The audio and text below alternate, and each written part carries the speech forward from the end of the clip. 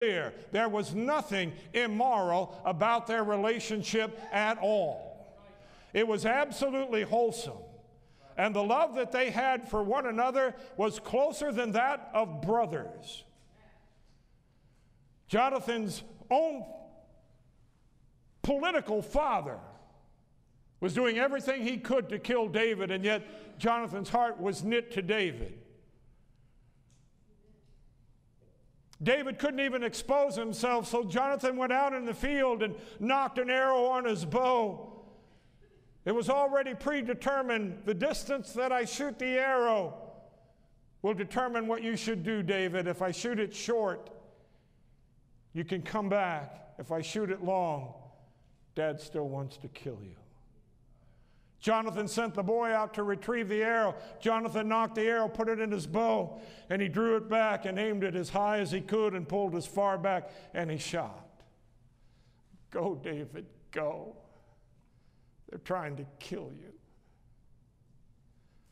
He's got the whole kingdom in an uproar against you. I love you, David. Go. Flee. Let God get you out of this situation.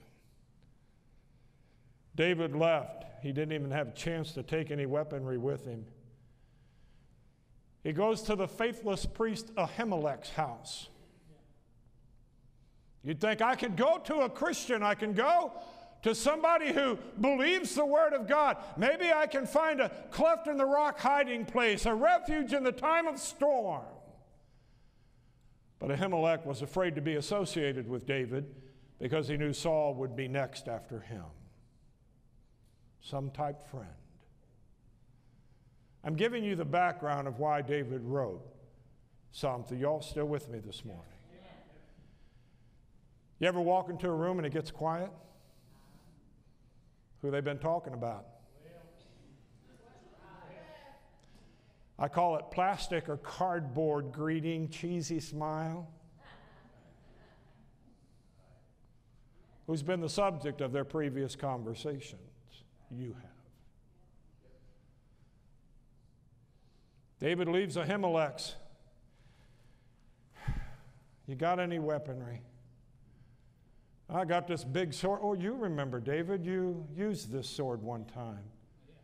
You took your brothers some food, and this great big ugly guy, over nine foot tall, you said, Is there not a cause? You see, the Philistines wanted to change the rules of engagement. They wanted the weakest of Israel to fight the strongest. They cursed your God. You killed him. And you took that sword and decapitated him. Now, Goliath's nine foot six. Can you imagine how tall that sword was? I'm saying at least six foot tall. David puts that in his scabbard. He leaves. This thing's dragging a furrow behind him. I mean, it's obvious this wasn't a custom made weapon for David, but it's all that he had. Somebody else was there at Ahimelech's place in 1 Samuel 21. His name was Doeg, D O E G, Hebrew, Doeg, anxious. He was the chief of Saul's herdsmen. What was he anxious to do? To go tell Saul, I know where David's at. How many of you see he could find no place of peace? How many of you see that fear was everywhere? So he hastily leaves. He's got the sword. He's got to get away from Doeg before Doeg can go tell. And David goes to the town of Gath. He walks into Gath, and the people are looking at him. The Philistines, Jewish. Then they see that big sword. Hey, uh, you? Yeah, you with the beard. Where'd you get that sword? Oh, this sword, said David. Oh, I killed the guy. You know, great big, big, he's an ugly guy. Yeah, I rock right in the head. Cut off his head. Gath was Goliath's hometown. You all still with me this morning? This is called jumping out of the frying pan and landing in the fire. Oh, Lord, have mercy. Now everybody's against him. This is in your Bible where David started acting mentally disturbed. I do that with my wife sometimes. She hates now to go shopping with me. Thank you, Lord. Thank you. Thank you. She hates for me to go shopping with her. Thank you, Jesus. Oh, thank you. Took me several years to think of this one. We'd go into the store, I'd hold her hand, walk like this. She'd go, Stop that step. Don't beat me no more, Mary. I promise I'll be good. Just don't hit me no more. She doesn't want me to go shopping with her anymore. Cha-ching! This is in your Bible where David started acting mentally disturbed. He let spit run down his beard and scrabbled on the doors. Oh, they wanted to kill him, but when they say, just go, I sought the Lord. He heard me. He delivered me from all my fears. God delivers from fear. Number one. Fears are on every side. Take your Bible, turn if you would, to Psalm chapter 56 and verse number 3. They are behind you, they are in front of you, they are to your left and right and beneath. Your courage to conquer fear will not come from any of those directions, but rather from above. You must look up to Him and His Word by faith before fear takes hold of you. Psalm 56, verse number 3. What time I am afraid, I will trust in thee. Last October, we were in Israel, one of my special ops trips. Had a handful of men. All independent Baptists, most of them have either been in special forces in the United States or on SWAT teams, all most all police officers or retired. So on the last day, I always give even the special ops a tour of Jerusalem. And I noticed the Temple Mount was open. So I went over to the Jerusalem police. All our guys flashed our badges. They recognized, we know who you are. Brother Sharp said, Can you get me up on the Temple Mount?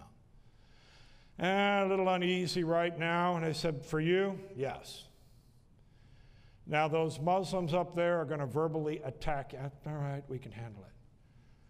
Well, some of my guys were wearing their Gentile ministry t shirts. I told them, don't wear it if we get up on the Temple Mount. Because if there's innocent, I don't, I'm not afraid, but I'm afraid of innocent people getting hurt.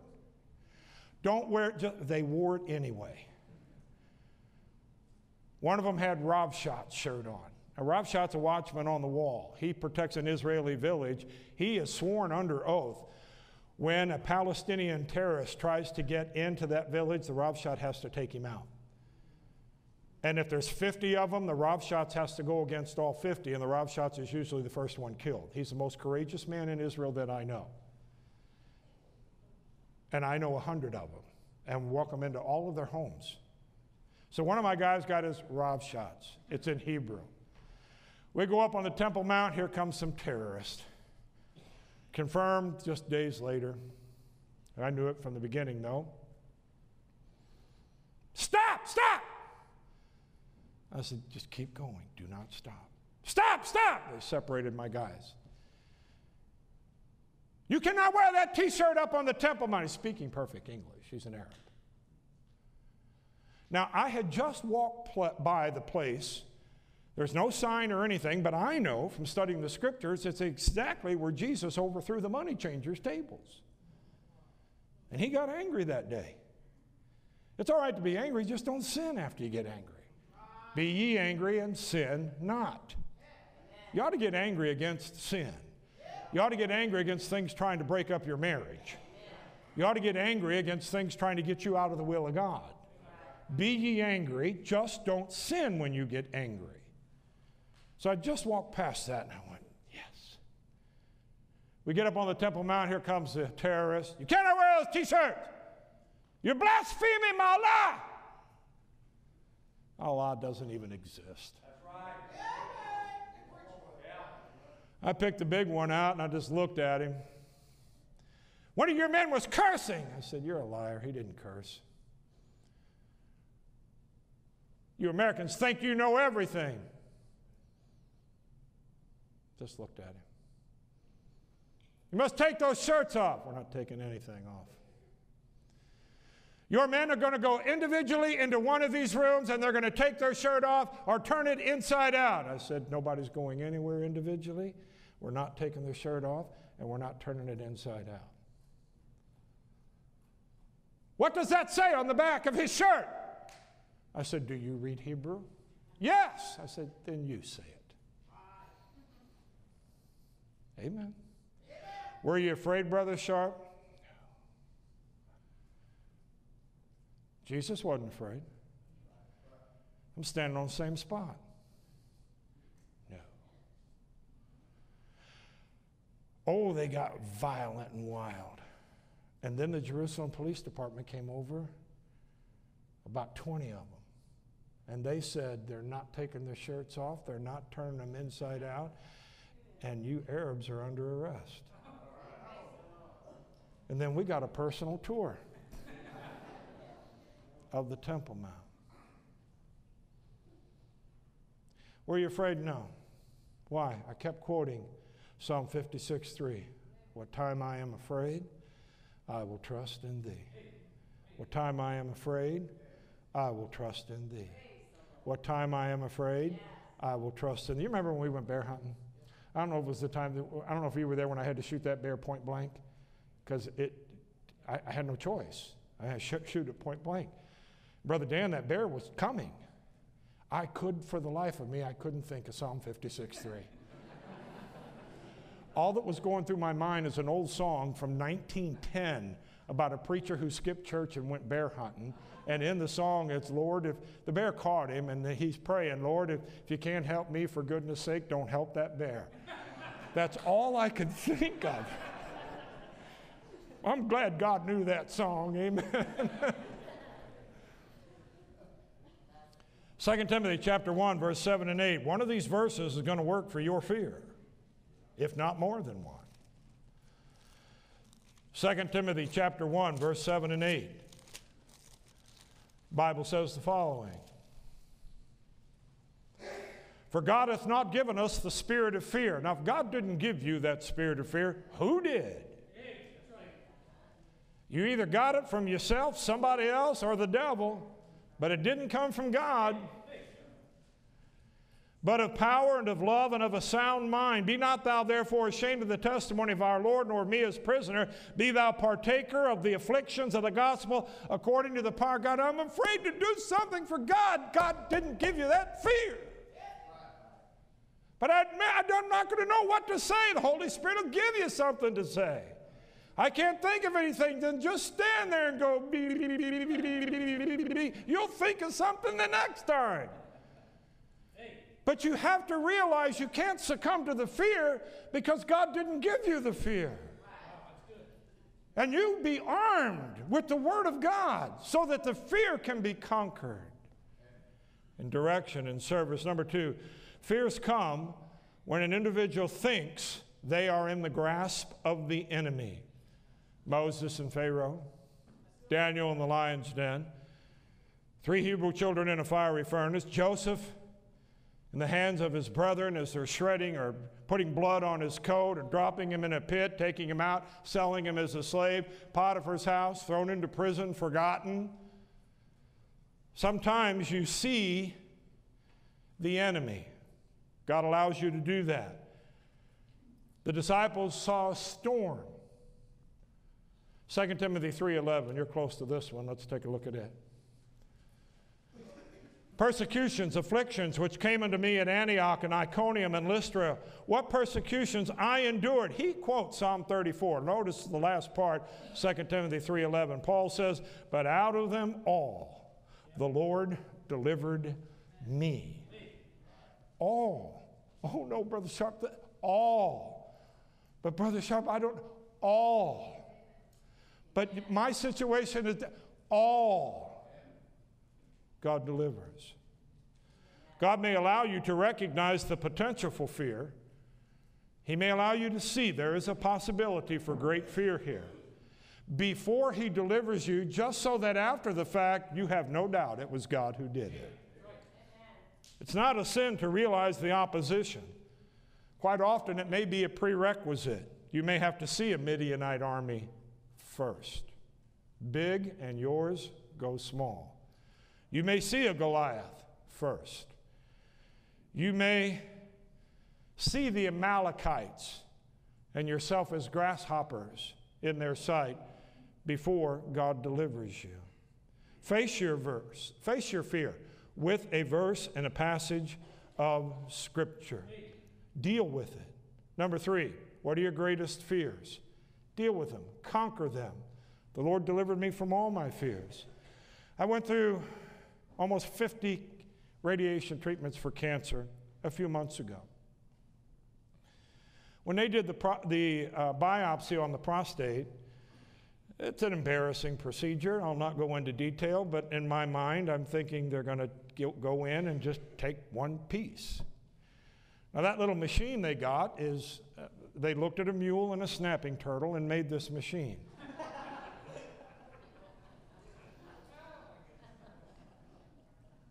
and I'm telling you, it goes in and it kicks hard and it bites hard. and I'm facing the wall in the pike position on my side, and wham, he hits me. Ooh. I mean, I may not be the toughest guy, but I get teeth pulled without any Novocaine or anything. I have root canals. I never get that stuff. Why? I can save 15 bucks. I buy, get Bibles for that. That hurt. Ooh thought, man, I'm glad this one's over. By the time I thought that, wham, he did it again. I counted to seven, or I counted to five first, the number of grace. I said, oh, I'm glad it's over. I looked, the doc said, over just a few more. Bam! He did it 16 times. Is there any prostate left? What time I am afraid I'll trust in thee. As of right now, I'm testing cancer free, free for prostate. So I praise the Lord for that. Fear not is the most frequent command given by Jesus, number four. He said it more to the Jewish disciples than any other command Fear not, fear not, fear not. Father, I have lost none of them. I will give you another comforter. Were they the part of the bride of Christ? Absolutely. The Pharisees complained because the Jewish disciples of Jesus didn't wash their hands or fast. And Jesus said, Can the children of the bride chamber mourn as long as the bridegroom is with them? Hello. They're part of the bride. They had him and he was in them and they in him. They had Jesus said, You see me, you seen the Father. Now, when his physical presence departed, he gave them the reassurance that the Comforter would never leave them nor forsake them. And you have the same Comforter, the Holy Ghost of God. You have the same word that He can bring to your mind, but you have to see it and go find it, memorize it. So when the fear comes up, you can pray and quote it. Not that God needs to be reminded, but when you say, God, you said, how many of you, how many of you daddies, your children come to you and said, But dad, you said, once you said, you better do. And God will. The most frequent command. Write Psalm 34, verse 19 through 22. That'll finish the chapter for you. And I'll tell this story and be done. Several years ago, I was on the Gaza border. Rockets were flying whistling, embedded, teaching, on patrol. For a brief moment, we were able to gather 31 Rav Shatz in one building. We couldn't tell anybody. It had to be over within 45 minutes. Through specific donations, I was able to enhance their bulletproof vest, give them some binoculars, Let them see the enemy at night before the enemy saw them, and they were very thankful, very appreciative. And it's designated free will offerings that people say, I want this to go for. With each gift went a copy of God's Word. In that Hebrew Bible, I printed 26 prophecies pointing to Jesus Christ. Pasted it right in the front cover.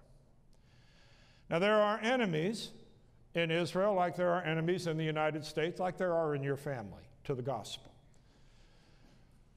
There's a group in Israel called Yad L'Achim.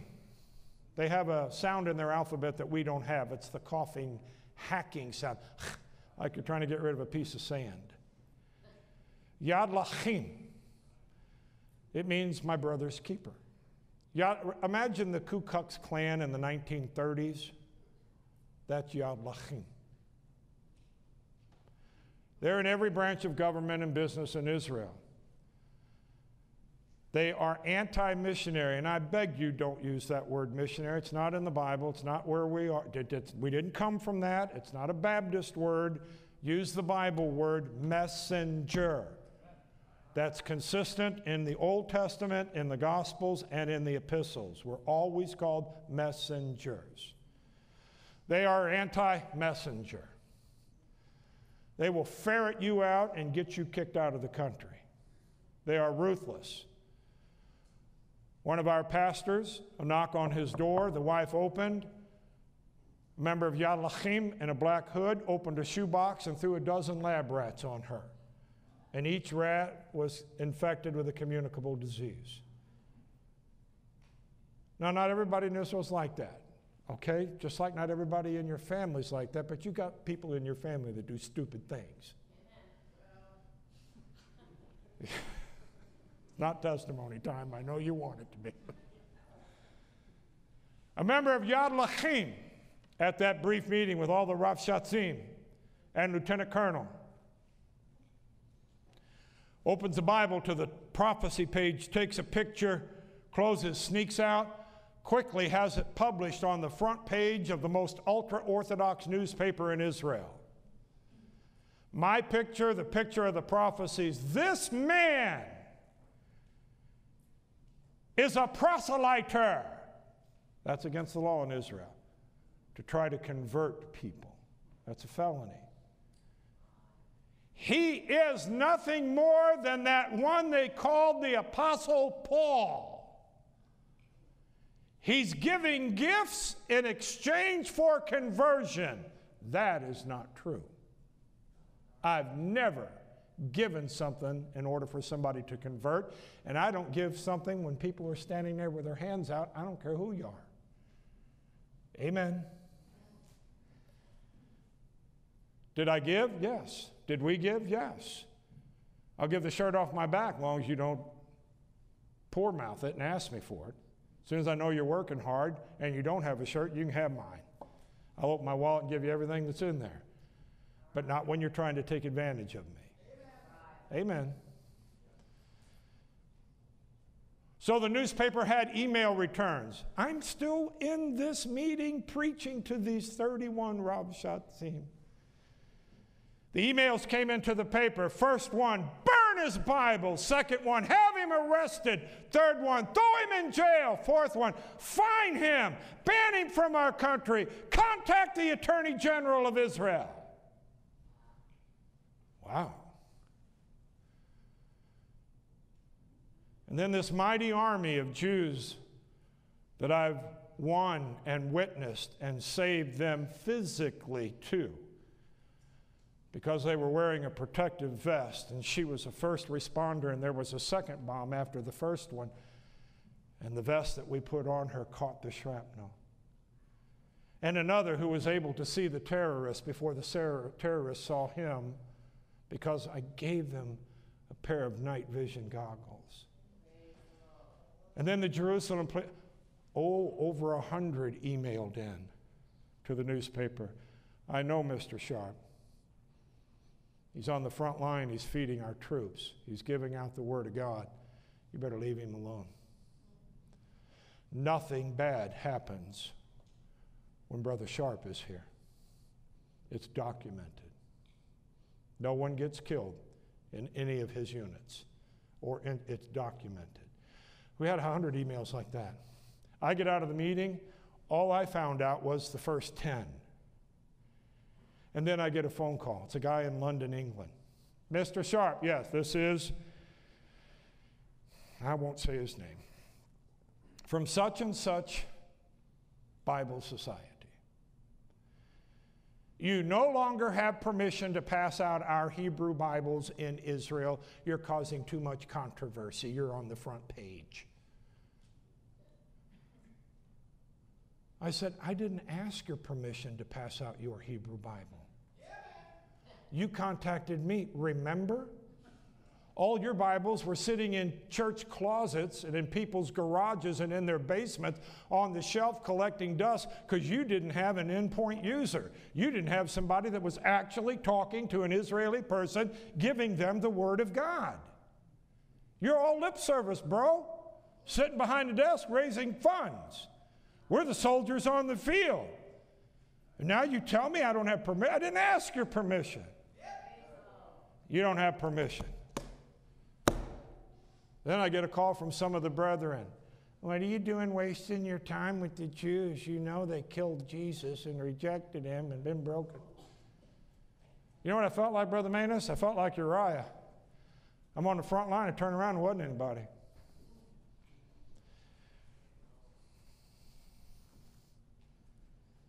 For about this long, I felt sorry for myself. First thing I did was got angry. I'm saying, all right, you're angry, don't sin. Boy, if I could have got one of the, eh, don't sin. And I started feeling sorry. A little fear came in. Is this it, God? Ministry over? Am I going to get arrested and kicked out? Can't pass out the Bible? Then God said to me, I printed 26 of your prophecies about my son in 100,000 ultra Orthodox newspapers on the front cover.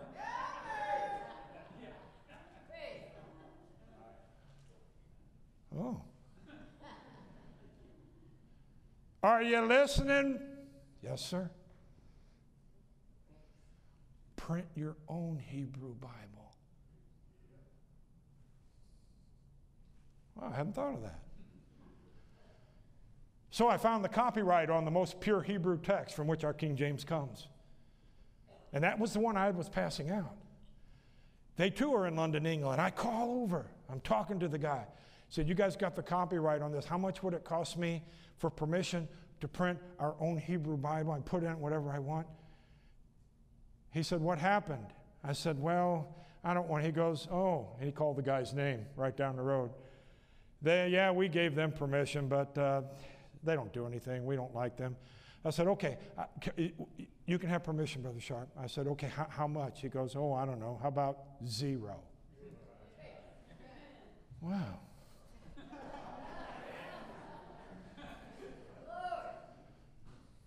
So I designed it. It's got seven seals on it. Print my own introduction.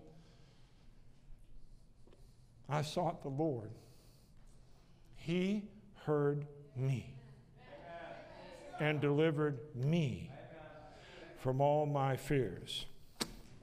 What's your fear? You got it written down? Tear it up. But keep one of the verses. Last point. Where are you going to go when you die? Brother Sharp, I'm afraid of that one. I lay my head down on the pillow at night and I wonder if I don't wake up on this earth, where will I wake up? Sometimes I think I'm good. The truth is, I know that I've done things that some people don't even know about, but God does. I don't want to go to hell, Brother Sharp. I don't want you going to hell. I want to go to heaven, Brother Sharp. I want you to go to heaven. I don't want to go to the lake of fire, Brother Sharp. God doesn't want you to go to the lake of fire.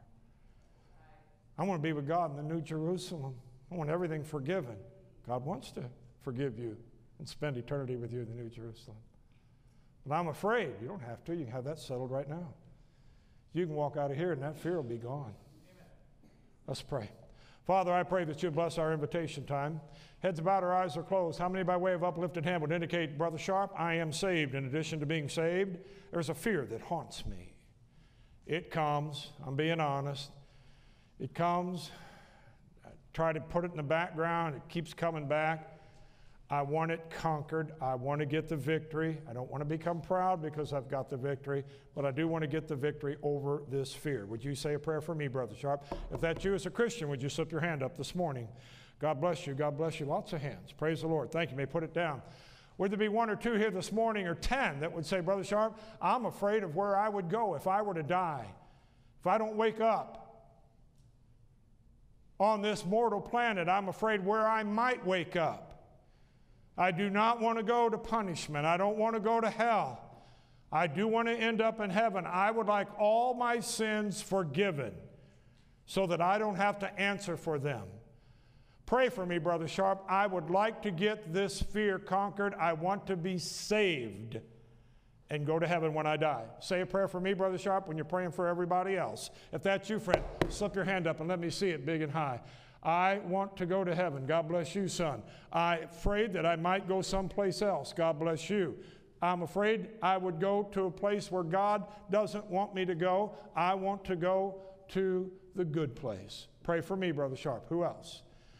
All right, those of you who just raised your hand, you're afraid of where you're going to go when you die. Would you lift your head and look at me? Nobody else is looking, but would you?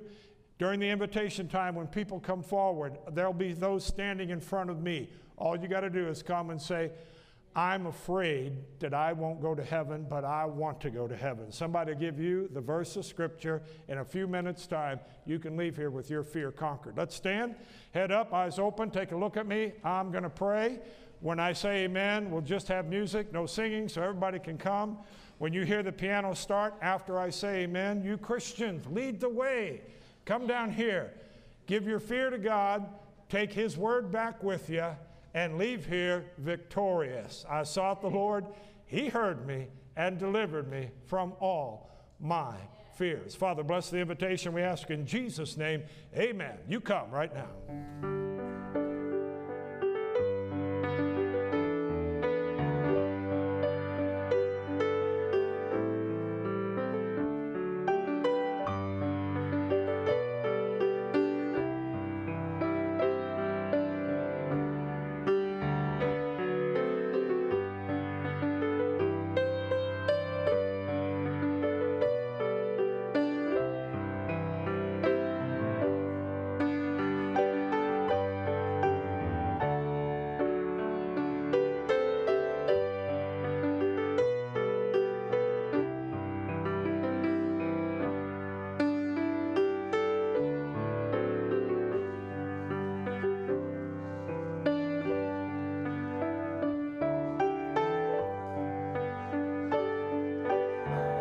Others are coming. How about you today? Has the Lord spoken to your heart? There's many that raise that hand.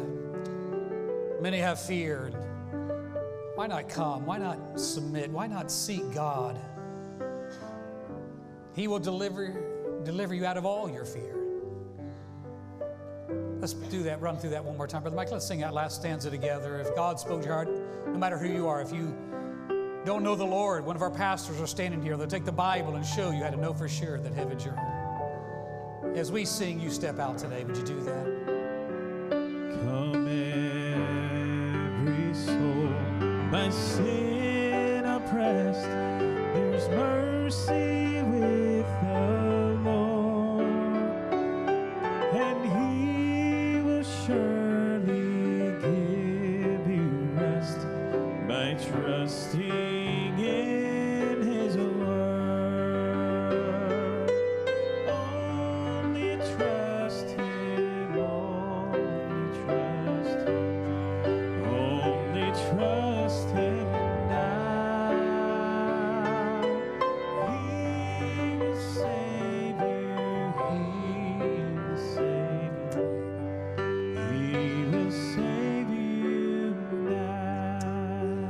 Praise the Lord. If you enjoyed yourself today, say amen.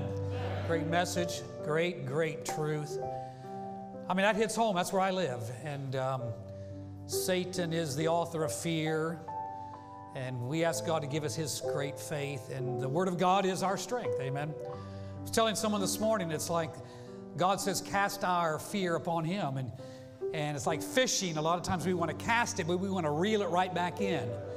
And we've got to leave it, let, let, it there, leave it there for Him, and He'll take it. And I need that. I needed that. Thank you, Brother Sharp. Father, we thank you for this day, Lord. We thank you for your goodness and your grace. And and God, I trust in you. You are the creator of this universe, Lord. You are more than we can even imagine, we can even say. We don't have the words, Lord. And if, if we could just grasp, Lord, at the tip of your finger, Lord, the might and the strength. And you have given us your Spirit, the Holy Spirit, and we have your power. Greater is He that is in us than He that's in the world. Father, I pray that we would understand, Lord, that you are our great God that takes away all of our fears. So bless today. We thank you. We praise you for it. In Jesus' name. And all God's people said, Amen. Hey, avail yourself to Brother Sharp's material. He's only here with us one moment, one time today, and thank him for coming. God bless you. Oh, Can I take 30 yes, seconds yes, to finish yes, the illustration? yes. I forgot to tell you what happened there on the front lines. The colonel of the entire Southern Command issued an order, leave Dr. Brian Sharp alone. He's welcome in every village down here. And then the guy who took the picture and put it in the paper, they withheld his funds from his community. So he called a lieutenant colonel and apologized. Lieutenant colonel called me and said he wants to apologize. I said, tell him I forgive him. Lieutenant colonel started to get mad at me. You forgive him for what? Why? I said, because one of his relatives forgave me. Yeah. Lieutenant colonel said, who? I said, you know. God bless. Is that good? Make sure you greet him and thank him for coming today. God bless you. Amen. Amen.